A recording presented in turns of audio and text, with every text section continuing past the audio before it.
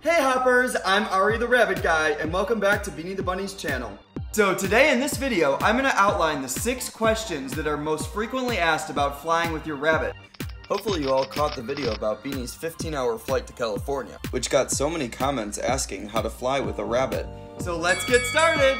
So the first and most important question is, should you even fly with your rabbit? But it's really important to think about the impact on the rabbit and the stress that you might be causing your bunny when you fly with him or her. But what you need to understand is in an airplane there's a lot of different environmental factors than what they're used to here on the ground. At 30,000 feet, you have a pressurized cabin, you have a chilly environment, you have a lot of different smells and a lot of different noises. So it can be very, very stressful on a rabbit who's not familiar, obviously, with traveling and flying. So you need to think about, you know, how your rabbits might fare. So you wanna think about all the reasons why you wanna bring your rabbit and make sure that they align with the stress that you could be causing and the extra hassle, I should say, of bringing the rabbit along with you. The next question you want to ask yourself is, what do I need from my vet? And of course, having a clinic that you trust and a vet that you can take your rabbit to for regular checkups is important. Prior to flying, it's even more important that you check with your rabbit's vet to make sure that any existing conditions or, of course, anything that you may not have thought of, you're accounting for before you take your rabbit on a flight. You specifically want to know from your vet whether there's anything in your rabbit's medical history that might make flying for them even more difficult than a regular or healthy rabbit. Stay tuned, of course, to the answers to the next question, which is going to talk a little bit about some of the paperwork and the examinations that potentially your rabbit might need if you're entering specific countries or traveling specific routes. The third question I'm going to answer today is which airlines permit flying with rabbits? So this is an important question because every single itinerary could be different. And I want to talk a little bit about some of the ways that you can research and some of the ways that you might be able to get the permissions and any requirement documents that you may need in order to fly with your rabbit. So first and foremost, it's very important that you know your airline's policies. A lot of people I've talked to have said that they've actually decided on their entire trip based on which airlines were the most lenient or the most open to allowing rabbits to fly. You might want to have a couple options lined up just in case. Uh, sometimes there's certain airlines that are more lenient than others, so you may want to check the different routings for your destination so you can figure out what exactly is at play. It just really depends on where you're living, what country you're at, and where you're trying to go. So definitely researching the airline. So how do you do that? The first thing is you can check policies by Googling the airline's name and pet policy or animal policy. Say Delta Airlines pet policy. You're gonna see a bunch of results come up and you're, you're gonna be able to, to research exactly what the airline's policies are for flying with your rabbit. Some airlines, for example, have very, very strict policies about types of pets, where they can fly, which cabin, can they be under the seat, can they do they uh, have to go under the plane um, in the you know baggage compartment, uh, things like that. It's extremely important to remember how delicate and fragile rabbits can be Therefore, do not allow them to fly in the cargo under the plane by any means. That's my number one recommendation to you. Many people need their pets for emotional support, and this is called an emotional support animal. And what that means is that they have a letter from a registered health professional stating that they need to fly in the companionship of their rabbit or other type of animal. So this is an option for some people that have those types of requirements, and this will allow, of course, for them to fly right next to their rabbit, bringing them as a uh, under the seat uh, item. Uh, obviously, they're allowed to bring them in the cabin with them, which is very important. If you're flying an international route, it's even more important that you find out the exit and entry countries that you're going to be going in and out of restrictions in terms of bringing in rabbits. The United States, for example, may ask for some documentation that actually shows that the rabbit is in good health and fit to travel. Other countries may require a quarantine period, so it's very, very particular to the individual country. The best thing to do is a search through the Department of Agriculture or um, the equivalent for that country, which covers livestock, animals, plants, vegetables, fruits, etc. All the types of admission of what we call foreign organic uh, items, I guess you can call it, um, into that country. So search for sort, sort of like a Ministry of Agriculture or you know Department of Agriculture, some sort of uh, governing body for that country that you're going to be entering in with your rabbit. Um, and make sure that you're able to contact them well ahead of time. Again, a lot of this is planning ahead for all possible scenarios. So the next question I'm gonna answer is, what gear do I need to bring with me to ensure a smooth flight? First and foremost, this is a pet carrier. Is this the bag you're taking on the plane with you today? Yeah, so my rabbit is in here and I, I know, have I see, I need to scan this bag. And what's great and unique about this carrier is that it opens from three sides. So you have the ability to open it. And of course you can collapse it when it's not in use. So you can take down the sides. And of course I'll show you how to do that in just a moment.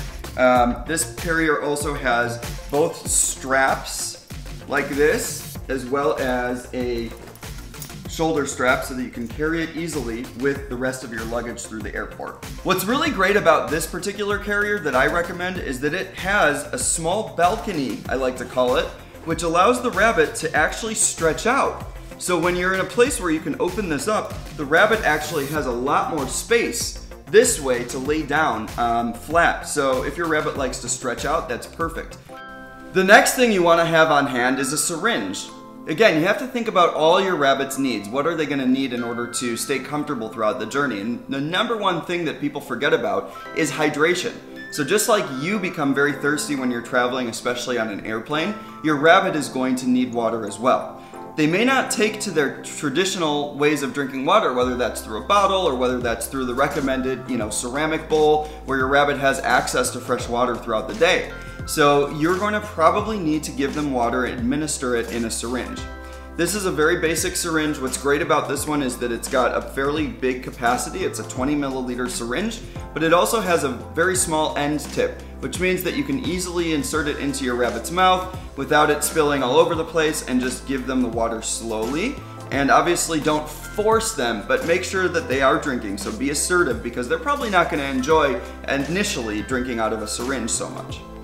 Another option if your rabbit is really stubborn or challenged with drinking out of a syringe is to take the fresh veggies, which of course are another one of the tips for the gear that I want you to bring with you, which is an ample supply of your rabbit's staple diet, which should be fresh vegetables and hay.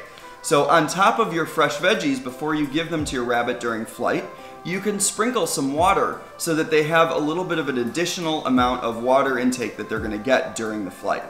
Remember, if your rabbit is during the flight not so uh, willing to drink or maybe a little bit seems spooked by things, that's very normal. So just try to be smart and keep them calm throughout the flight. Um, some rabbits will do better on planes, some won't. It's just a matter of their personality, um, you know, any issues that they might be having, uh, noises, smells, there's a lot going on for them. So try to keep them hydrated, try to give them regular food. Another piece of gear that you're going to want to consider is bringing a small metal tray. I recommend a roasting tray actually, which is one of the disposable trays that you can get um, to maybe like cook with or whatnot um, that will actually fit inside of your pet carrier. So what's really important here is that you're able to lay out with either a pet pad or perhaps um, some litter that we talked about in our last video, the litter training video, um, that you can actually allow your rabbit to go in and do their business inside of the pet carrier. Now I know this is seemingly a little bit easier said than done, and some rabbits will be more interested in eating their hay and sitting in their litter box than others. So make sure that you have a liner of a towel or something else that you don't mind throwing away that's soft so that in case your rabbit does urinate on top of their carrier, it doesn't soak into the bottom of the airplane and it keeps the smell out. And of course, um, you know, something that you don't mind throwing away um, if it gets messy, you know, during the flight. Now that you have your gear, now that you know where you're going, now it's important to say, what do I do during the flight in order to make sure that my rabbit stays safe, secure, healthy, and comfortable throughout the journey? Number one is once you get to and from the airport, make sure that that part of your journey is accounted for. So think about things like, you know, what kind of ground transportation am I gonna take? How am I gonna make sure that the rabbit has ample time to stretch out between, um, you know, different legs of the journey, things like that. But during the flight itself, what we're gonna do is we're going to first get on the plane and if it's possible to board early, that would be ideal.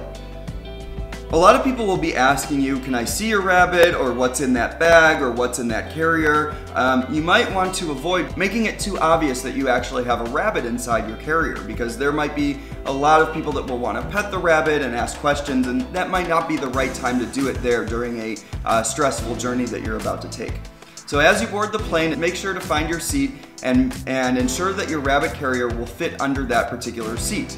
If there's of course any questions, you can ask the flight attendant, but first and foremost, always check on your rabbit as you put them under the seat and make sure there's nothing sharp or nobody kicking under that seat so that everything is, you know, in place and the rabbit is going to be as safe and secure as possible.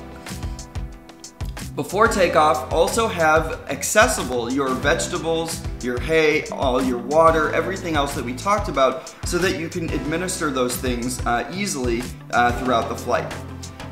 I recommend checking on your rabbit every hour or two. Um, the best, if possible, is to open up the rabbit carrier and try to pet your rabbit so to make sure that they feel comfortable. Talk to them, make sure that they're safe and stowed during those points where you're required to be in your seat with your seatbelt fastened. Right before landing, of course, you're gonna also wanna make sure that your rabbit is secure under the seat. As you're getting off the plane, also the same thing applies. Make sure that you're holding the carrier in a comfortable way so that you're not jerking it around from side to side and your rabbit's not trying to hold on for his or her dear life. Finally, how do I prepare for a soft landing? So now that you've made it finally to your destination, it's really important to think about everything you're gonna need in order for your rabbit to be comfortable at your new location. Whether that you've moved and you've actually, this is a relocation for you, or if you're just temporarily visiting somebody or on a temporary trip, you have to think about the location that you're going to be staying at. Is this location already bunny proof or bunny friendly? And do you have the ample habitat for your rabbit in uh, prepared ahead of time? So one of the tips I'm going to give you is you can actually send a portable cage um, to your friend ahead of time if you're staying, let's say, with a friend or at a hotel that may not have a rabbit cage. So you're gonna wanna think about all the things that your rabbit's gonna need to feel like home as much as they possibly can during their stay. One of my pro tips that I definitely want to give you is when you enter a new space that your rabbit is going to be staying in, whether it's for a minute, an hour, a day, or a year, it's critical that you scan and bunny proof that space for any potential dangers to your rabbit. Number one could be places where they could easily escape. For example, in some older structures, there might be an area near a radiator or a vent that actually has an opening wide enough that your rabbit could squeeze through it and try to escape that room. Thirdly, of course, is are there cables? Is there areas where the rabbit could easily chew? So some people like to purchase a pet corral or fencing, similar to what you could um, give like a playpen for a dog or even for a baby for that matter, and have your rabbit housed in there. That way you have a 360 degree view of your rabbit, but he, he or she still has enough room to run around, stretch out, use their litter box, all that sort of thing. So don't forget, of course, you're gonna need all of the comforts of home. So if you're gonna bring your litter box, you're gonna need to have that set up. You're gonna need uh, either litter or pet pads, ample number for the amount of days. So I've also told people that sometimes it's just as easy to um, buy these things and actually have them shipped ahead of time. Maybe you want to um, purchase, you know, a litter box and some pet pads, just enough for that time that you're going to be away, and that way you have all those things waiting for you at your destination location. And when you get there, you can simply make your rabbit feel as comfortable as possible. But the number one thing is thinking about how long you're going to be there and how many supplies, how much supplies, how many things you're going to need.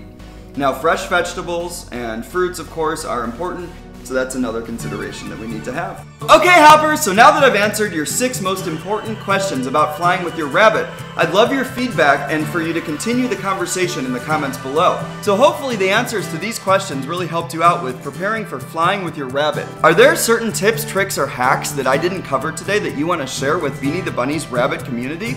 Well, if so, leave them in the comments below. Maybe you can help someone else have a smoother journey. Whether it's an airline that seems to be in particular very rabbit friendly, or maybe a great way to pack supplies, all of those things we'd love to hear from you in the comments. So be sure to subscribe to Bini the Bunny for more bunny tips videos, as well as all the laughing, all the fun, and all the hilarious tricks that Bini the Bunny does. Safe travels, hoppers! Bini!